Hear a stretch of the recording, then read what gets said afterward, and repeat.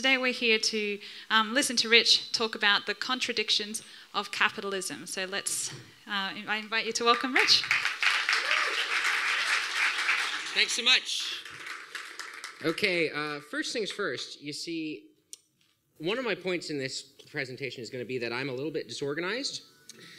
And uh, proof of this is that the computer has gone into night mode without, uh, and I forgot about this because, you know, it's still synced to Canada time, so I'm just fixing that now before we start. And here we go. Okay. There we go. You ever seen Seinfeld? You know, Kramer? That's me. Okay. There is a wonderful line from a musician in Canada. His name is Matthew Good, and he so aptly summarized the plight of millennials. Here it is right now. I did it on Ritalin. I got me some good grades. Now I work me the night shift where I pull and pull and pull till it hurts. Thanks so much for having me. By now, you all know who I am. My name is Rich Penney. I wrote the Justice Keepers saga. Today, I'm going to be taking you through a talk called The Contradictions of Capitalism and I am going to be telling you a little bit about my own personal story to help illustrate how I learned about these contradictions. Now, there are a few things you need to understand about me. One is that I live with a condition called keratoconus, which basically means that my corneas are warped and my eyesight has deteriorated. Um, on top of that, I have an impaired motor cortex, which both affects my ability to move around and also my organizational skills. So, all that being said, let's start with contradiction number one. You can have any job, just not the one you want. Okay, so I create universes. That's what it means to be a novelist. Uh, universes with form and structure, universes with their own unique physics, with characters very vivid and lifelike that have been mentioned in several reviews. I could have an idea for a television series, and within about an hour, I would have every episode of every season plotted out. In fact, last night during the social event, I began to realize that my story was very, very similar to Peter's, just replace musician with novelist. Um, I didn't pursue story writing in the form of script writing or novel writing because I was told all my life that writers don't make a lot of money. So let's just take a moment and take a look at some basic free market logic here. The invisible hand naturally allocates material rewards to people whose goods and services are most in demand. So if you get paid more, it must mean you do more good, right? Well, let's examine that. This is data from the Bureau of Labor Statistics in the United States. Uh, in 2007, roughly 5% of Americans were unemployed. By 2009, that number jumped to 10%. Average salary for an investment banker, 71,500. For a fast food worker, it's only 19,500. So I'm guessing then by market logic, destroying the economy is worth more to society than serving people food.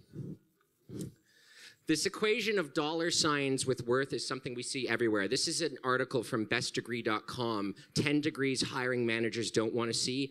Can I just direct your attention to that paragraph in the upper left? Music therapy majors learn how a variety of musical styles can help facilitate healing and ease suffering in patients. Okay, so, oh yeah, how exactly do you use that when filling out an accounting report? That's the important sentence there. So the implication here is clear, right? Don't be a music therapy major, be an accountant because accountants make money. I just have one small question for you. What if you're a shitty accountant? More to the point, what if you're a shitty accountant who happens to be a musical genius? The exact kind of musical genius who can see patterns and melodies and use those patterns to bring relief to patients who are suffering. See, maybe it's true that society needs 50 accountants or even 500 accountants for every one music therapist, but what's more valuable overall? One single terrible accountant or one single brilliant music therapist? The market doesn't account for these things. Which brings me to contradiction number two. The market prides itself on diversification of labor, but talents often go to waste because they can't be monetized. Be an electrician. This was the advice from my 10th grade math teacher. One small problem with this you can choose a stable career like electrician, and if you're terrible at it, you still won't succeed. Now, the idea that there might be a biological basis for skills that we can't all be equally good at everything. Whoa! See what I mean? Clumsy. Um, the idea that we can't all be equally good at everything is somewhat anathema to the free market because in the free market you're supposed to adapt to whatever's in demand. So if you're a taxi driver and you get displaced by automation you're supposed to just go to such and such technical institute and get retrained as a computer programmer. But Unfortunately, there is evidence to suggest a biological basis for skills, at least to a limited degree. This is a study by Ariel Starr, Melissa Libertus, and Elizabeth Brannon of Duke University. They wanted to see whether children with a natural number sense went on to do better in math class. Their experiment was fairly simple. They would show children cards with a series of dots on them, and the only difference would be the size of each dot. And they would do this with infants about six months old, and they would show the infant four or five cards with the same number of dots, and then a new card with a different number. Now, some of these infants would notice and they would react, others wouldn't. And what our researchers found was that the infants who reacted went on to become children who did better in math class. Here's their research. Given that the correlation between number sense acuity and math achievement holds into adulthood, and given that adults in math literate societies have, on average, slightly higher innate number sense than adults from cultures without systemic count lists, it seems likely that there are bidirectional influences between number sense and math achievement.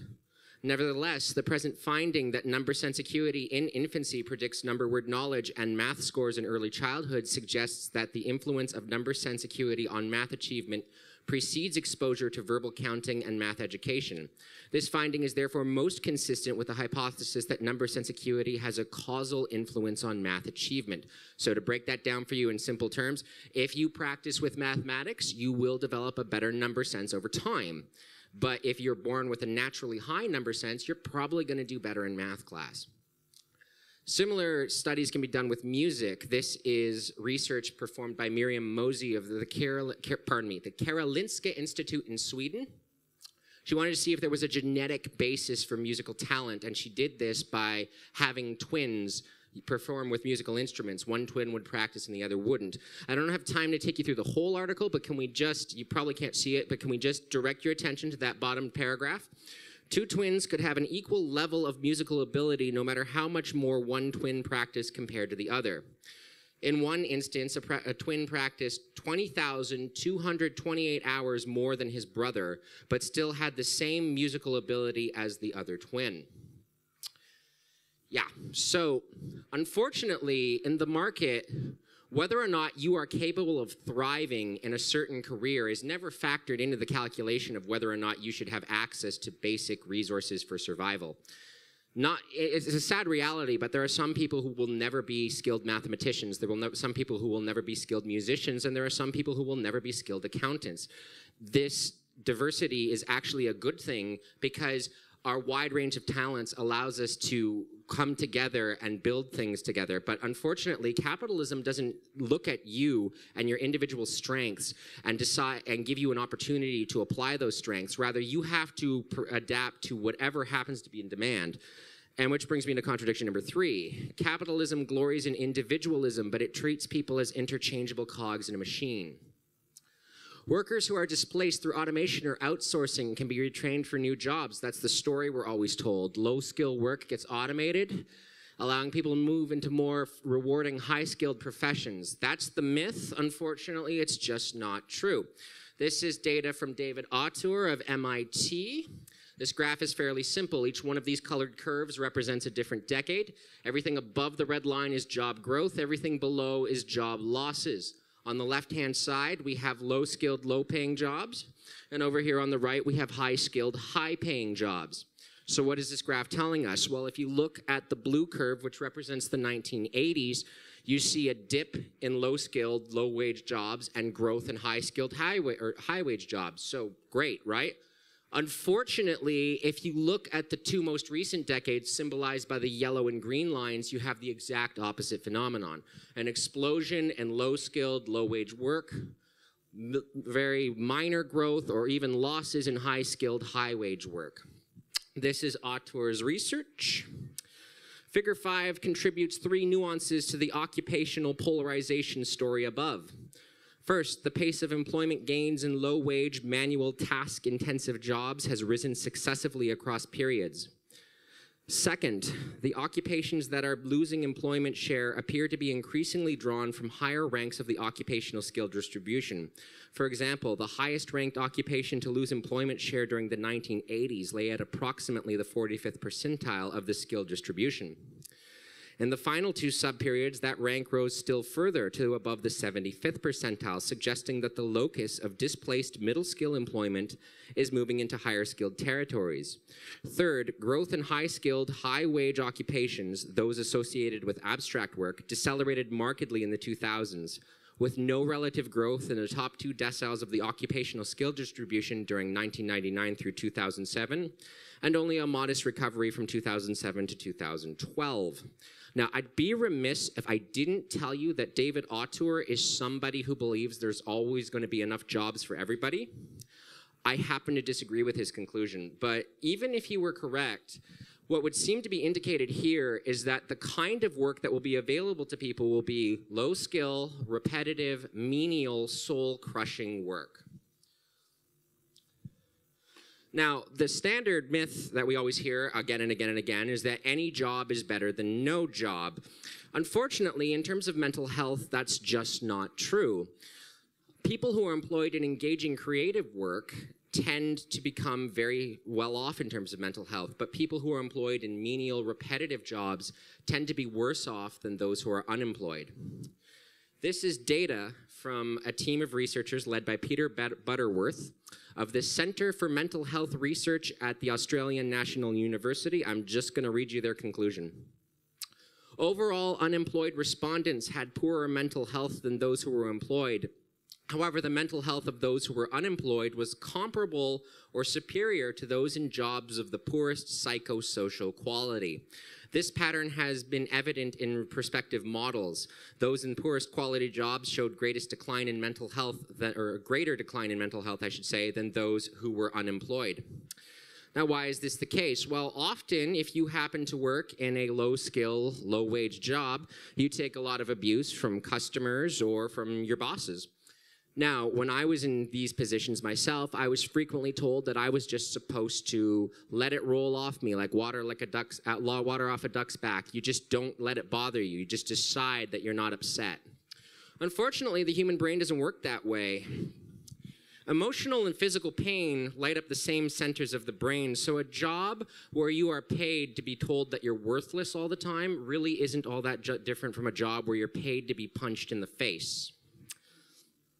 The claim that workers who are displaced through automation and outsourcing can be retrained for new jobs fails to ask the question of whether these workers will benefit from the new jobs. And as always, it depends on the job, which brings me to contradiction number four. People who don't work are a drain on the system, but we have to create jobs. Now, this one's tricky, and not everyone, sometimes I tell it to people and they don't quite get why it's a contradiction. So, just as a kind of curiosity of mine, hands up if you can see why that's a contradiction. Okay, so a few people. Let me break it down for you. If it's true that people who don't work are a drain on the system, it means there's an enormous amount of work to do and not enough people to do it. But if it's true that we have to create jobs, it means that there are plenty of people and there's not enough work for all of them. Well, which one is it? These two things can't exist at the same time. Which brings me to my story. These are the various jobs I've had throughout my adult life. This is what your life looks like if you don't pursue the vocation you actually want and simply drift aimlessly from one thing to another because you have to make money somehow. I was one of the people who experienced a significant decline in mental health due in no small part to repetitive, demeaning work. Why is that the case? Well, for one thing, I'm a night owl. This is an article by Live Science that breaks down what that means. People span the range of those who are very early risers to very late setters, and this is genetically determined, said Frederick Brown, a professor of psychology at Penn State. To a certain extent, behavior and environment, say routinely pumping iron in a well lit gym toward midnight, can shift our built in dispositions. But for those of us squarely in one chronotype camp or the other, in the end, the body is boss. If you're a morning type person, you can't become an evening type, and vice versa. I don't have time to take you through the whole article. I really recommend it. It's a wonderful read, but let's just look at that highlighted paragraph there. Brown and Arand believe that one's unavoidable preference for morning or evening should not be considered bad or unhealthy. Society, they agree, should be more accepting of inherent sleep and wake modes, particularly of night owls for whom adhering to business hours is arduous. I cannot tell you how true that is. I'm perpetually disorganized, as you've already seen. I have a tendency to misplace documents, lose files. While we were on lunch, I lost my phone for about 20 minutes. I become increasingly flustered when I have to do paperwork. Now, why is this the case? Well, I'm not entirely clear on it, to be perfectly honest with you, but according to a neurologist who treated me, it has to do with an impairment to my motor cortex, which I've, I've known about since I was about five years old. So, your motor cortex does more than just control how you move your body, it also controls how you make sense of the physical space around you, including where things belong. All these difficulties made it very hard for me to get work done on time when I was an office clerk. I would have to double check and triple check everything. This is a normal aspect of my career for my entire life. As a result, in that particular job, I would stay late an extra three or four hours after the end of my shift to make sure everything got done. Now, one day, my boss comes up to me, she takes me aside, and she says, I can't do that anymore because they can't afford to pay me for all those extra hours. So I had to either get my work done in the standard workday or I was fired. So can you guess how I handled this? You got fired. Well, I did, but that's not that that was further along. See, I started by working for free. I would stay late the extra 3 or 4 hours and I would just not log them. Well, after several weeks of this, whoa, uh, there we go. After several weeks of this, um, my boss takes me into her office, tells me that I committed a fireable offense, accused me of falsifying payroll statements, and basically implied that I committed fraud. Now, I broke down in tears in front of this woman because I told her that the only reason I was doing it is I didn't want to be the person who dragged down the rest of the team. I wanted to help, I wanted to contribute, and I wanted to make sure things got done on time. She called me dishonest and untrustworthy and sent me on my merry way. Shortly after this, my eyesight began to deteriorate from the keratoconus I mentioned. I was living with constant nausea, dizziness, headaches. It's been corrected to a limited degree, but I still deal with it to some extent. I sank into a deep, dark depression because I couldn't hold on to a job for more than four to six months. I felt like I was worthless, of no use to anyone, and just a burden. I wanted to die. Now, I did a lot of things to come out of that depression. I took medication. I saw a therapist. I learned the cause of my fading eyesight and had it corrected to a limited degree. And I wrote a book. And then another book. And then one more. I also got involved with the Zeitgeist movement because the Zeitgeist movement helped me realize that I didn't need to justify my existence. I was perfectly entitled to exist and have access to my basic necessities just by virtue of being alive. In that time, I've developed a new philosophy. It's pretty radical. Are you ready for it? I only apply for jobs I actually want to do. See, this is me. Perpetually disorganized, a night owl, emotionally sensitive. I have been reprimanded for crying at work more than once socially awkward, prone to boredom. If you give me a repetitive task, which most jobs are, I have this tendency to zone out and start writing novels in my head. Nonconformist, hostile to authority, unable to multitask, that's part of the organization thing, and now on top of all that, I've got chronic pain. Uh, I could maybe overcome one or two of these things, but not all of them in my late 20s, when I was really starting to hit rock bottom, I used to tell people in my life that I felt like I had to completely overhaul. Um, does 10 minutes mean I have 10 minutes left? Okay, we're, we're to be done in like two. Um, sorry. Easily distracted. We should put that on the list. Um, okay, so uh, as I was saying, I, I, felt like I had to re- overhaul my entire personality, essentially rebuild myself from the ground up. I felt like I had to make myself into a robot that, you know, the whatever the corporations wanted me to be. And uh, I, I, eventually said that I just couldn't do it. The amount of mental strain was just killing me. And the response you always get in a situation like that is just try harder. Go to bed at the same time every night. You will eventually become a morning person. Wrong. Develop a system. I love that because it's actually not advice. Develop a system and you will eventually become organized. Wrong. See, if you think about it, develop a system just means be organized and then you'll be organized. I did try harder. I like that the part of the, the working for free was one of the many ways I tried harder. I tried harder so much that I had a nervous breakdown. The truth of the matter is that I am a shitty office worker, but I'm a brilliant novelist. That's from a review. I don't know if you can read it.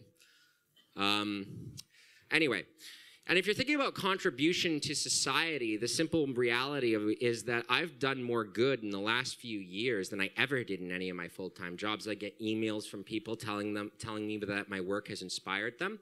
I get emails from people after these talks. Um, last year was like 300 Facebook friend requests, and like 70 of them were people who would say, Rich, I don't know what I'm doing. I feel completely alienated in this market system. I feel like I'm worthless and I don't know how to get by. And I say, I know exactly how you feel because I was like that a couple years ago as well. No, I'll be perfectly honest with you. I don't make a lot of money. I make some. I have a couple part-time jobs in addition to my novels. Maybe my novels will take off and I won't have to worry anymore.